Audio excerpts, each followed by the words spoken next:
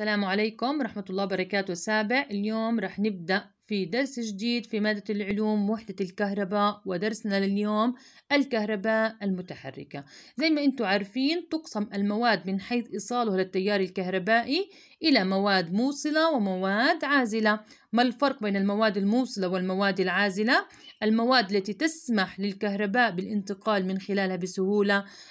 المواد التي تسمح للشحنات الكهربائية أن تتحرك من خلالها بالتالي توليد تيار كهربائي أثناء حركة هاي الشحنات الكهربائية. هي عبارة عن مواد موصلة. من الأمثلة عليها عندنا الفلزات كالحديد هي مواد موصلة. وعندنا المحاليل الموصلة أيضا تعتبر مواد موصلة للتيار الكهربائي. أما المواد العازلة هي المواد التي لا تسمح للتيار الكهربائي الانتقال من خلالها لا تسمح للكهرباء بالانتقال من خلالها بسهولة من الأمثلة عليها البلاستيك أو الخشب. إذا بالتالي يتم استخدام هذه المواد الموصلة التي تسمح بحركة الشحنات الكهربائية من خلالها في الدرات الكهربائية في الدارة الكهربائية. أي دارة كهربائية يا سادس بتتكون بشكل أساسي من البطارية المفتاح المصباح والأسلاك. إذا أي دارة كهربائية بتتكون من المصباح من المفتاح الكهربائي من البطارية والأسلاك. لاحظ يا سادس عفوا يا سابع أن مكونات الذرة الكهربائية في البداية مثل ما ذكرنا تتكون عنا من أربع مكونات أساسية. هلا رح نتعرف بالتفصيل ما أهمية كل مكون ما هي وظيفته في داخل هذه الذرة. ولكن ما المقصود بهذه الذرة الكهربائية؟ لاحظ إذا المسار المغلق الذي يسلكه التيار الكهربائي ويتكون لازم لازم بصورة أساسية من مواد موصلة ومصدر للكهرباء. إذا لاحظ المسار المغلق الذي يسلكه التيار الكهربائي في داخل هذه الذرة يطلق عليه. إذا مفهومه يعبر عن مفهوم الذرة الكهربائية. ما أهمية ما, ما أهمية هذه الذرة ما هي مكونات؟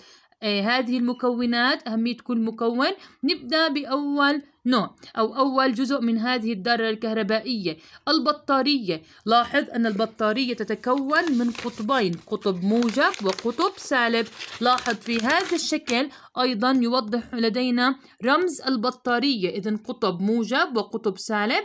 إذا البطارية هو عبارة عن مصدر الطاقة. ما وظيفة البطارية؟ هي تعبر عن مصدر الطاقة وتدفع الشحنات الكهربائية عبر الأسلاك. مما يؤدي إلى توليد تيار كهربائي في الذرة. مثل ما ذكرنا تحتوي البطارية على قطبين قطب موجب وقطب سالب. ويمثل يامس فرق الجهد الكهربائي هي مقدار الطاقة الكهربائية التي تتزود بها البطارية. شحنة كهربائية مقدارها واحد كولوم عند انتقالها بين قطبي البطارية. إذا نحن نتعرف على مفهوم جديد عندنا وهو فرق الجهد الكهربائي المرتبط في البطارية وهو عبارة عن مقدار الطاقة. إحنا ذكرنا أن البطارية هي مصدر الطاقة. إذا نلاحظ البطارية مصدر الطاقة الطاقة هي عبارة تدفع الشحنات الكهربائية مثل ما ذكرنا عبر الأسلاك. مقدار الطاقة التي تزود بها هذه البطارية شحنة كهربائية مقدارها واحد كولوم عند انتقالها بين قطبي البطارية هو عبارة عن مفهوم فرق الجهد الكهربائي. رح نرمز له رمز دلتا V دلتا V. ويقاس فرق الجهد الكهربائي بوحدة الفولت ورمزه V. إذا الوحدة فولت لفرق الجهد الكهربائي ورمزها V.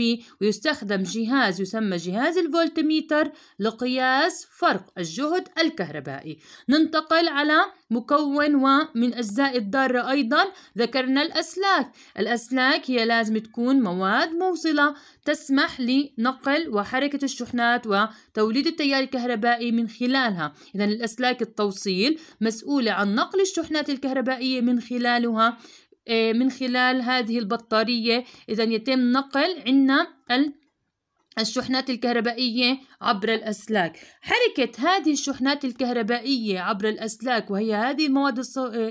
المواد الموصلة هي مفهوم التيار تعبر عن مفهوم التيار الكهربائي. ما المقصود بالتيار الكهربائي؟ هي حركة الشحنات الكهربائية في مادة موصلة. اليوم نتعرف على قانون التيار الكهربائي. قانون التيار الكهربائي يساوي الشحنة الكهربائية على الزمن. الشحنة الكهربائية على الزمن. الشحنة ورمزها Q و T الزمن. إذا الشحنة الكهربائية على الزمن تعبر عن مفهوم التيار الكهربائي. لا في البداية سابع نتعرف أن الشحنة رمزها Q وحدتها كولوم رمزها C. إذ أوكي تعبر خلال آه، الموصل وهذه الأسلاك الموصلة خلال ثانية واحدة. إذا تي تعبر عن الزمن والزمن لازم يكون بالثانية مس. إذا كان معنا بالدقائق من حوله مثل ما تعلمنا أثناء الحصة إلى إيه إلى ثواني ويقاس مثل ما ذكرنا الشحنة بكولوم سي نسبة للعالم شار كولوم بينما يقاس التيار الكهربائي بوحدة كولوم لكل ثانية لأنه الزمن بالثانية. اس إذا اس سي أس هي عبارة عن أمبير وحدة التيار الكهربائي وسمي بأمبير نسبة للعالم أندري أمبير. okay؟ كيف نحل أسئلة عديدة على التيار الكهربائي؟ حلينا أسئلة عديدة أثناء الحصة. نأخذ مثال نوضح فيه التيار الكهربائي الآن. إذا علمت أن شحنة مقدارها 6 ضرب 10 أس minus 3 شو معطينا؟ معطينا شحنة كهربائية تتحرك خلال موصل بزمن مقداره ثلاث ثواني. احسب التيار. إذا لازم نقرأ السؤال كويس يا سابع نعرف المعطيات ونعرف المطلوب. إيش المطلوب؟ المطلوب التيار. إيش المعطيات؟ معانا شحنة ومعانا زمن بالثواني. نكتب القانون التيار الكهربائي مباشرة. I Q على T كم Q معنا؟ 6 ضرب 10 أس minus 3 كم عندنا الزمن؟ ثلاث ثواني. في داعي نحوله؟ لا جاهز معطينا إياه بالثواني. okay؟ 6 تقسيم 2 إذا 3 إذا لاحظ عفوا. 6 تقسيم 3 2 ضرب 10 أس minus 3 وما ننسى الوحدة في كل سؤال وحدة التيار الكهربائي أمبير. كتبت أمبير أو كتبت لك كولوم لكل ثانية هي نفسها تعبر عن أمبير. ماشي يا سابع؟ إذا نقرأ السؤال كويس بنحدد المعطيات وبنحدد المطلوب. عندنا سؤال آخر مدفأة كهربائية يمر فيها تيار كهربائي مقداره 6 ضرب 10 أس ماينس 3 أمبير. نحسب مقدار الشحنة عبر مقطع المدفأة إذا شغلت لمدة 2 دقيقة. إذا لاحظ الزمن هنا لدينا بالدقائق. إيش لازم نعمل يا مس؟ لازم نحول الدقائق إلى ثواني. إذا يتم تحويل الدقائق إلى ثواني. إذا في هذا السؤال. إذا بنعوض مكان التيار الكهربائي موجود معنا. Q مجهولة وضربنا 2 ب 60 عشان نحول إلى ثواني. okay؟ إذا بنطلع معنا بنكمل هذه العلاقة الرياضية وما ننسى نحط الشحنة الشحنة ب وحدة الشحنة هي كولوم ورمزها C. ننتقل لمفهوم آه، ومكون آخر وهو المقاومة الكهربائية. ما المقصود بالمقاومة الكهربائية؟ وهو ممانعة المواد لسريان التيار الكهربائي عبرها آه، من خلالها من خلالها. وحدة قياس المقاومة الكهربائية هي عبارة عن أوم نسبة للعالم جورج أوم. ويقاس المقاومة بجهاز الأوميتر ويمكن قياس المقاومة عبر القانون. أيضا عندنا المقاومة الكهربائية يمكن قياسها من خلال القانون R V على I. ما أهمية المقاومة؟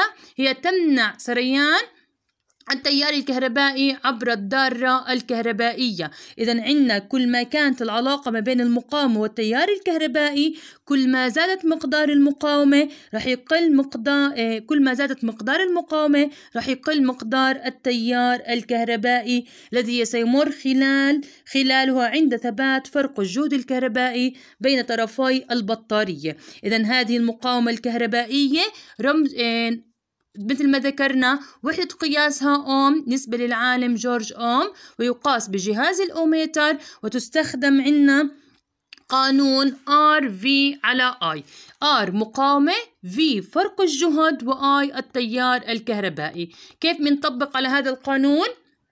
ناخذ مثال بسيط. تعمل مروحة كهربائية على فرق جهد مقداره 220 فولت. إذا كان التيار الكهربائي 4 أمبير احسب المقاومة. إذا R مجهولة V 220 فولت و I مقدارها 4 أمبير. منقسم وما ننسى الوحدة يا مس أوم. إذا وحدة المقاومة هي أوم. خلينا ناخذ آخر جزء في هذا الدرس ونلاحظ ونشوف مع بعض كيف يمكن أو كيف تتصل المصابيح الكهربائية معا بالدارة الكهربائية ونوضح آخر مكون معنا من مكونات الدارة وهو المفتاح الكهربائي. وهو المفتاح الكهربائي. ذكرنا البطارية مصدر الطاقة. ذكرنا الأسلاك المواد الموصلة. وذكرنا الآن المصباح الكهربائي الذي يعبر عن وجود تيار كهربائي عند إضاءة هذه المصابيح. وذكرنا المقاومة الكهربائية هي ممانعة المواد لسريان التيار الكهربائي من خلالها. وهلا نحن نذكر عندنا المفتاح الكهربائي. يتم التحكم في الدارة الكهربائية عبر المفتاح الكهربائي. المسؤول الأداة المسؤولة عن فتح وإغلاق الدارة الكهربائية. إذا يتم توصيل المصابيح الكهربائية بطريقتين يا سابع. توصيل على التوالي والتوصيل على التوازي. إيش الفرق في؟ لاحظ إذا إحنا عندنا بهذا الشكل يوضح طرق توصيل الدارة الكهربائية. إذا نلاحظ طريقة التوصيل هنا على التوالي. إذا يتم توصيل المقاومات الكهربائية مع بعضها البعض من دون تفرعات في الأسلاك عبر التوالي. إذا عبر التوالي يسري في هذه الدارة تيار كهربائي واحد يمر عبر الأسلاك. فعند مثل ما ذكرنا يتم إذا تم إضاءة المصباح الأول يضيء لدينا المصباح الآخر. إذا متصلين بمفتاح كهربائي واحد ينتقل التيار الكهربائي واحد عبر هذه المصابيح. إذا تعطل أحد الأجهزة هنا سوف يتعطل بقية الأجهزة لأن التيار الكهربائي سينقطع عن بقية هذه الأجهزة.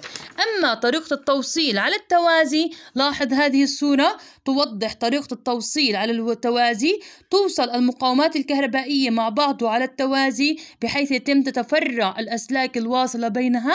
فبالتالي يمر في كل مصباح هنا تيار كهربائي خاص بها تيار كهربائي خاص بها. لاحظ إنه هون لكل دارة هنا أو لكل مصباح مفتاح كهربائي خاص به فعند ولاحظ إنه هون إذا صار انطفأ أحد المصابيح المصابيح عفوا لا يتأثر المصباح الآخر لأنه لكل مصباح تيار كهربائي خاص يمر فيه ومفتاح كهربائي خاص به. فبالتالي اذا اختلاف بين التوصيل الكهربائي أو طريقة التوصيل الكهربائي على التوالي وعلى التوازي تكون شدة إضاءة التيار الكهربائي على التوازي أكثر من شدة التيار الكهربائي على التوالي. السبب لأنه هون يمر يمر تيار كهربائي واحد عبر الأسلاك عبر المصابيح وهنا وجود مفتاح كهربائي واحد. أما هون موجود عندنا لكل مصباح تيار كهربائي خاص به. إذا تعطل أحد المصابيح في على التوالي سيتعطل المصباح الآخر على التوالي. ولكن إذا تعطل أحد المصابيح على التوازي لا يتعطل المصباح الآخر لأن لكل مصباح عند لدينا وكل جهاز مفتاح كهربائي خاص به ويتحكم بمرور تيار كهربائي خاص به. إذا هذا كان آخر جزء درسنا لليوم سابع. سلام عليكم ورحمة الله وبركاته.